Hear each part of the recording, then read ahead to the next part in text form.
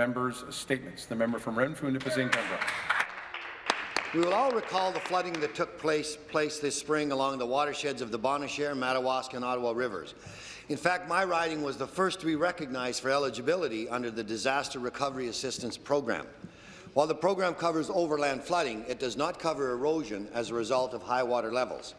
The Indian and Muskrat rivers experienced significant landslides as a result of the high water, undermining their banks.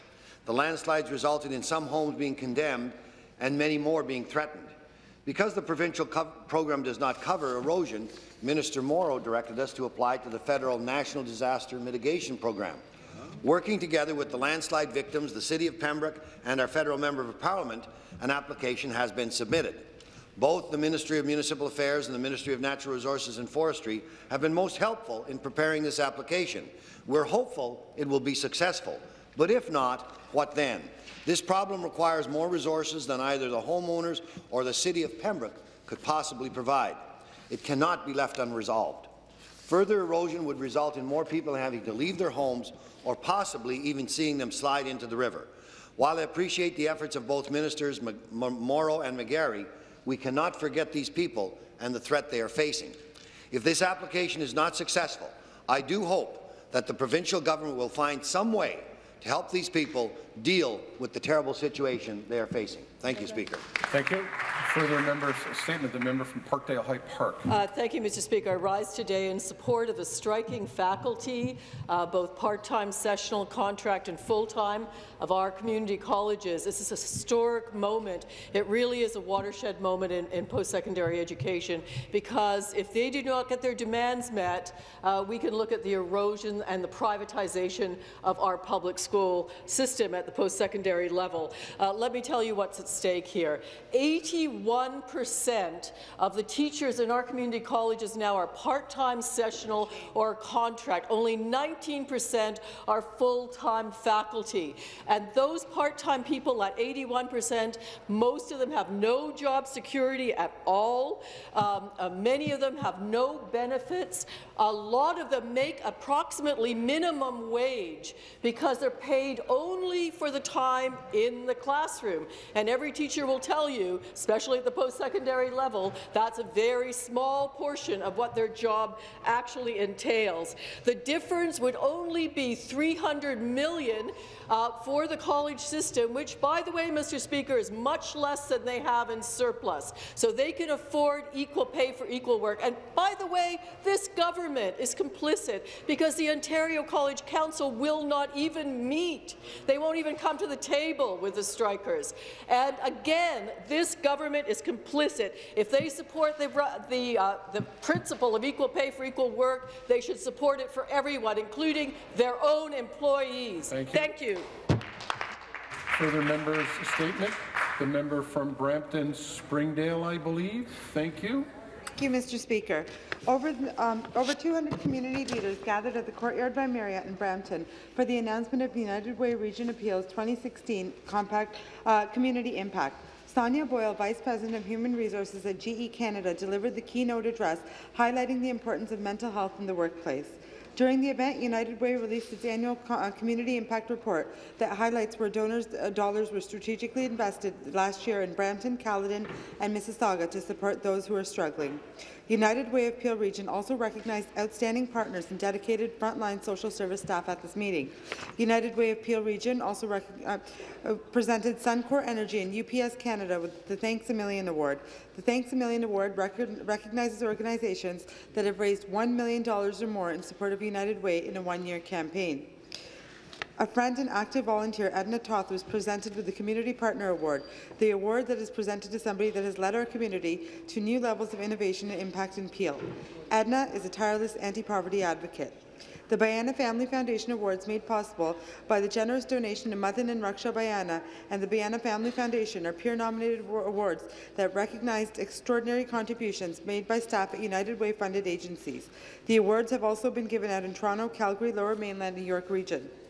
Some of the award winners are Soma Banerjee, Malton Neighbourhood Services, Godwin Darkbar, Knights Table, Jesse Murray, Nexus Youth Services, Deborah Langbin, Hope 24-7, Alicia Denon, Knights Table, Nirlip Gill, Punjabi Community Health Services, Sangeeta Arena, Malton Neighbourhood Services, Amelia Torres, Vita, uh, Vita Centre, and Raj Chandra, United Way Peel Region. Thank you, Mr. Speaker. Thank you. Further member statement, the member from Thornhill.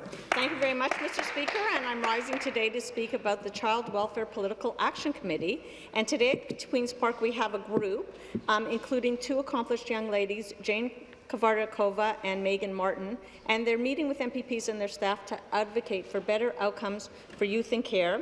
Included with the group are Paul Berenson, Karina Chan, Christy Dennett, Carlene Joseph, Amelia Mearhart, and Christine Bradley.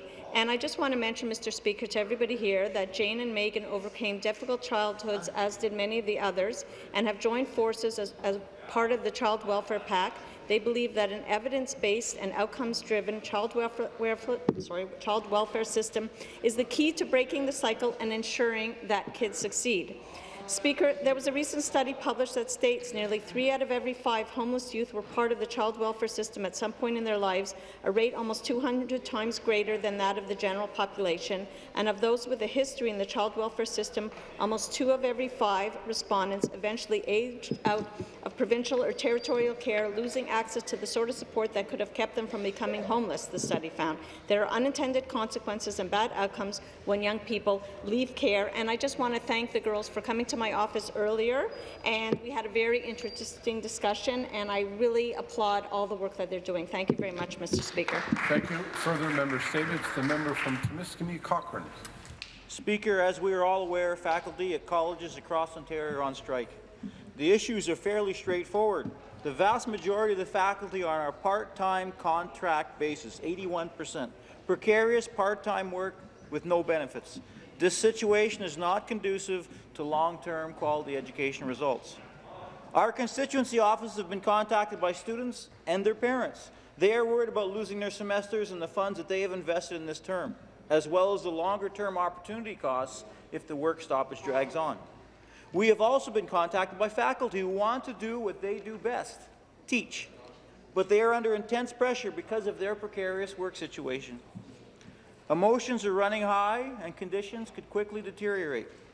I would like to make the legislature aware that on Thursday, a worker manning a picket line in Timiskaming Cochrane was struck by a vehicle which did not stop. The worker was injured, and the OPP is continuing to investigate this incident. The right to strike is an important tool in our collective bargaining process. It is stressful on all sides, but it should never resort to violence. We urge the parties to get back to the bargaining table, and I implore the government to ensure that the funding is in place so that meaningful negotiations can be held. The ultimate goal being that students can continue to receive a quality education provided by faculty that are fairly paid for their work and skills. Thank you, Speaker. Thank you. Further member statements. The member from Eglinton Lawrence. Uh, thank you, Mr. Speaker. I just want to pay tribute to uh, a constituent of mine, Ross Skeen. Uh, Ross was a most talented actor, musician, and music teacher. Uh, he and his wife, Glenda Skeen, uh, were responsible for saving a heritage apartment building in the Yonge uh, Lawrence uh, area, one Cheriton Avenue, with their own hard work and dedication. Ross was a protege of uh, one of Toronto's theatre greats, George Luscombe of the Toronto Workshop Productions. And uh, he did every job there at Toronto Workshop and was an incredibly dedicated uh, theatre person and, as I said, music teacher. He taught the guitar and drums to countless young people in North Toronto for years. And he was an exceptional tenant advocate. He really was one of the uh, champions of tenants' rights for many years in North Toronto. And he was also involved with Neighborhood Watch. He was helping seniors uh, constantly get their uh, food and uh, everything. So uh, Ross was a real uh, local giant. we're going to miss him. And uh, he really contributed above and beyond the call of duty to the City of Toronto and to all his friends and neighbours. Uh, rest in peace, Ross. Thank you. Further member statements, the member from Kitchener-Conestoga. Yes, uh, thank you, Speaker. To, today I stand uh, to offer heartfelt congratulations to all those across Ontario who are taking part in fall convocation ceremonies at universities and colleges right across our province. Just like the bright colours beginning to turn in celebration of another season, convocation ceremonies mark the successful finale to an intense and sometimes difficult journey as dedicated students look toward the next steps for a brighter future. Speaker, given the significant challenges for many who are blessed with the opportunity to build their skills and knowledge through a post-secondary education, it is truly a special and proud accomplishment to be able to step forward with a diploma or degree in hand on the convocation stage.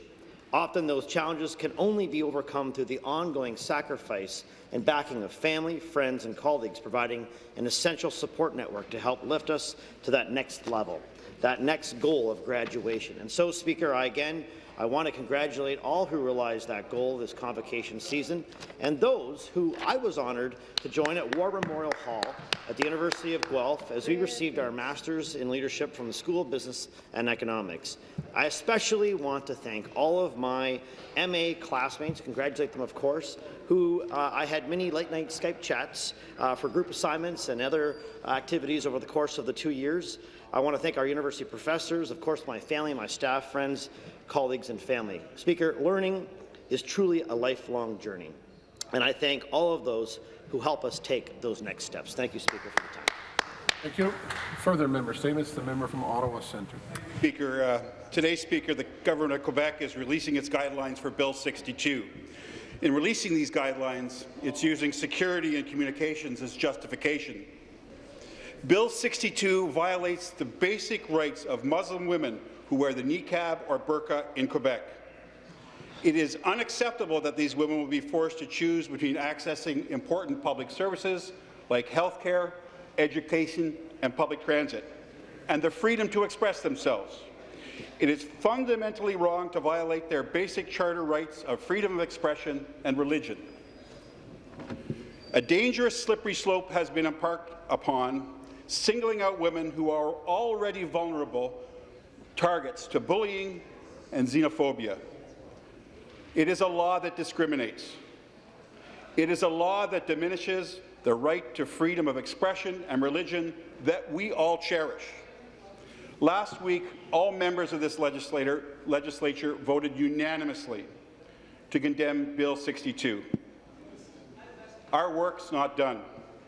We all must continue to speak out in this legislature and in our communities against this legislation and all forms of discrimination. Thank you very much, Mr. Speaker. Great. Thank you.